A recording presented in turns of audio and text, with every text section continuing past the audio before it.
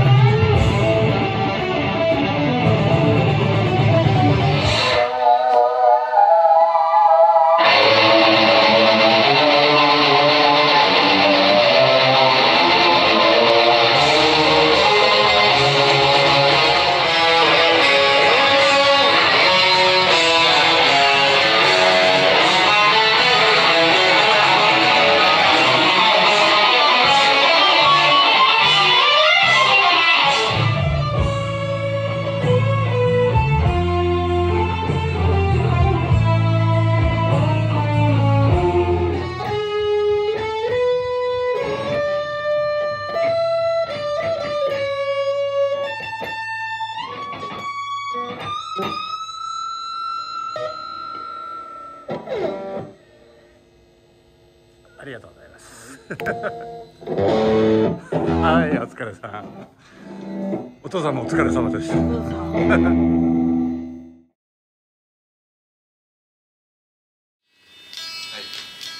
れ様でした。お疲れ様いやうまくなった。ねでもね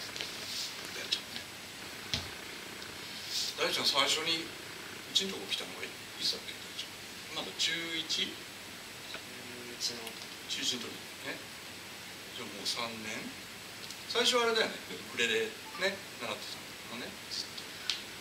何歳からやってたの？ウクレレウクレレは幼稚園の年長ぐらい幼稚園の年長って？5歳4歳？それぐらい。はあ長いね。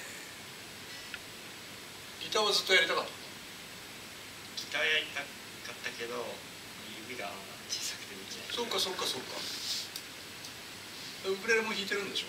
たまにたまに弾いてそう大ちゃんはね中1からうちに来てくれてで今中3でしょ？もうすぐ受験だよね。受験関係ない。関 関係ない。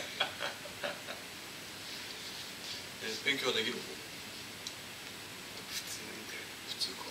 じゃあまだまだギター続けていく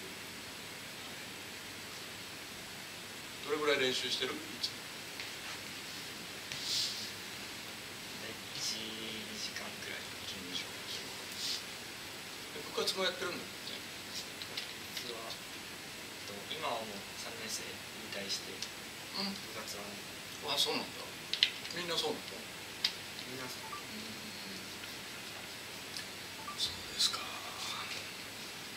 初めて大ちゃんとこういろいろ喋ったか3年通ってるけどほとんど話したことないもん。あんま喋んないんだよね。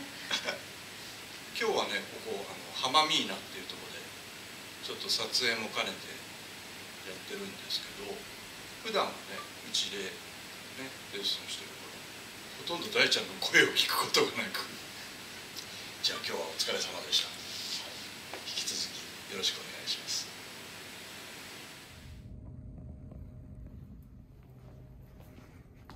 はいお疲れ様お疲れ様でした。